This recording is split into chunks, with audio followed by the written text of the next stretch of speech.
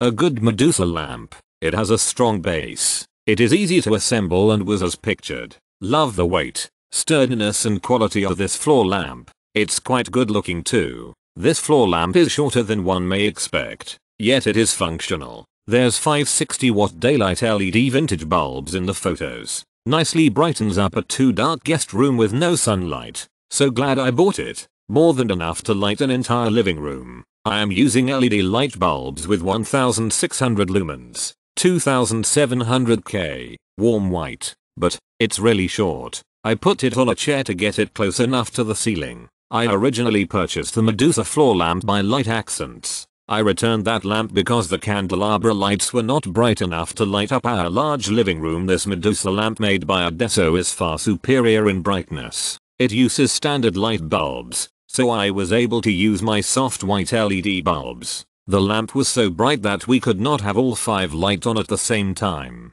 We purchased a second lamp for our master bedroom, which is also large with a vaulted ceiling. I like this lamp so much I bought a second one. It doesn't feel cheap, just the shades which are a flexible plastic but they look nice. I have no ceiling light fixture in my living room and needed something bright. So now I have this installed with 10 smart bulbs and I can say Alexa turn the lights on and the whole room is lit up. The goosenecks hold their shape well and they're nice and stable on the floor. Other budget floor lamps I've purchased are too lightweight to be sturdy but these have a nice heavy base.